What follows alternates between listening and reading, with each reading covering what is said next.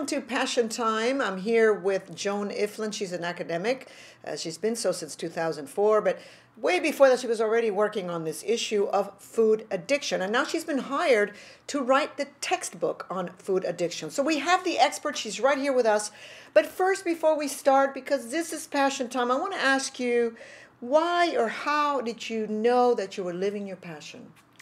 Well, because I was helping people. Food addiction is easy to to address if you know what you're doing. If you don't know what you're doing, if you have the wrong information or somebody's telling you that you can leave addictive foods in your food plan, it's impossible. Right. So I just tell people what I know from the research and it seems to help them. So I couldn't do anything else. I have to do this. And you know, and you and you started this long time ago. Uh, when I met you, you were doing something else. You had an MBA from Stanford, but you have done so much research and now there are new findings. So share with the new findings with me. Well, they are disturbing, Patty, uh, particularly around children. We're finding that these addictive anomalies, if you will, or brain dysfunction are occurring in children as young as two. Oh my lord. And that is scary. So we see research like a study of nine year old Mexican children. Uh-huh. The obese children have less brain mass so this is now serious. Uh, this is not a cosmetic issue of how, how much fat tissue you have on your body. This is brain damage, very similar to recreational drugs. Happily, it's reversible. That's a good yes. thing to know because uh, I'd like to know how food addiction develops. We know that when you take a drug, how, how that gets worse over time. But how does food addiction develop? You're talking about a two year old. Well, it's, it's through exposure. So they're exposed to television commercials.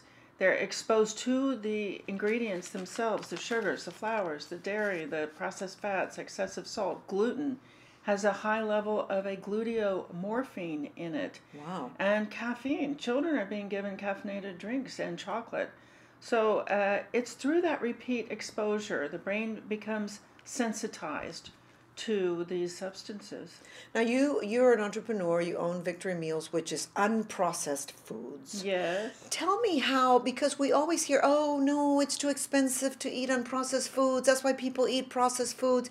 What's the real story behind that? Oh my goodness, it's so cheap. I mean, it's so inexpensive to eat unprocessed you think about the cost of a bag, a big bag of carrots, it's a couple of dollars. That right. could be your vegetable for almost right. the whole week. Right. Um, the things that are eaten in, in unprocessed food plans are sweet potatoes and their rice and their beans.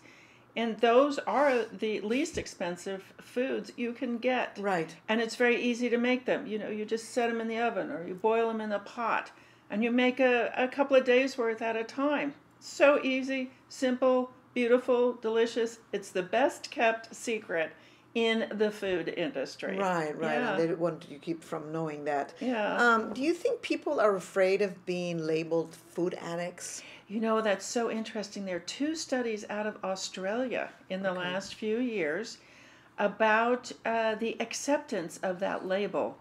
And obese people were asked if they would rather be called a food addict. And they said yes.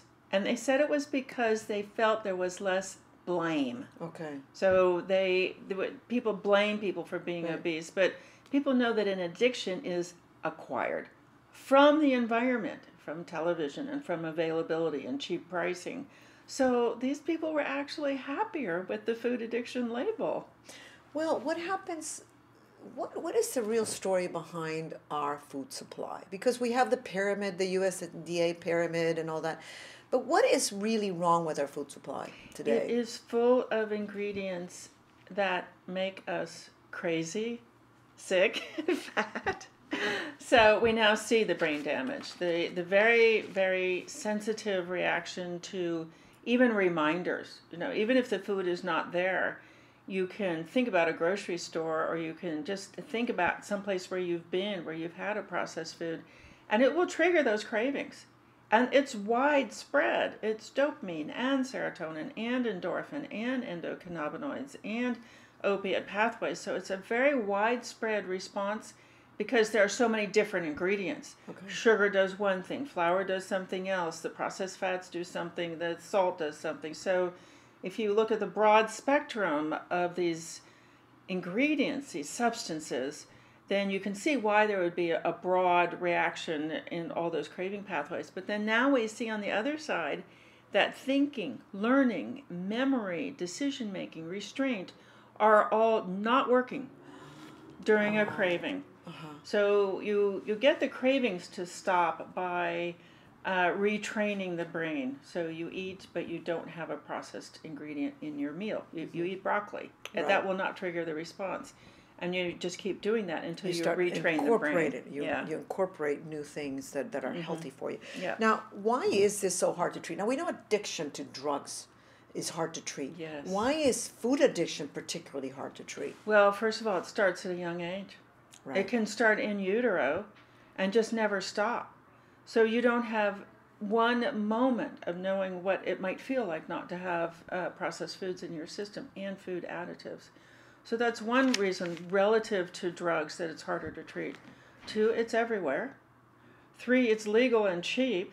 yeah. Four, it's deeply embedded in our social rituals. right. And um, five, it's always sold in these combinations.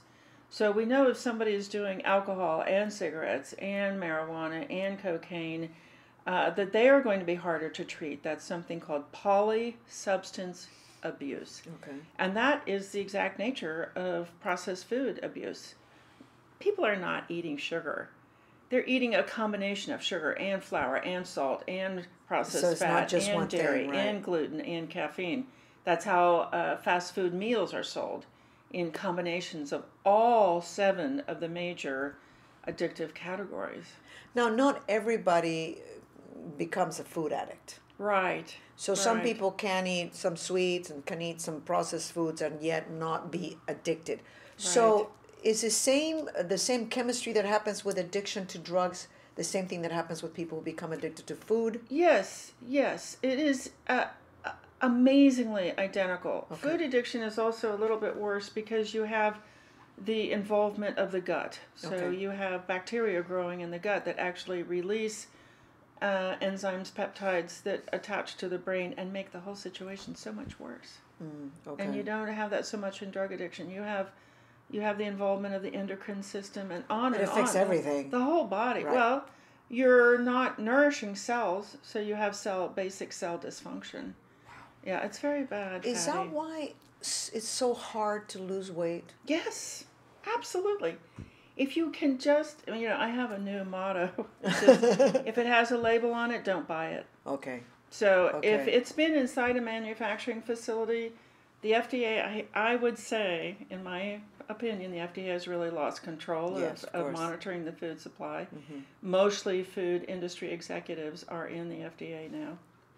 So um, if it's been inside a manufacturing facility, given that the food industry knows so much about creating addiction, you have to wonder if they've put something in it that will make you overeat it. Because they can. Right. Yeah. Now you have a Facebook page that anybody can join to get help. Tell me about that. Food addiction education. I am so excited about this. We have people in recovery now actually moving out of the disease all over the world. Alabama, Arkansas, Australia, Argentina, all over the world. Is it a support group?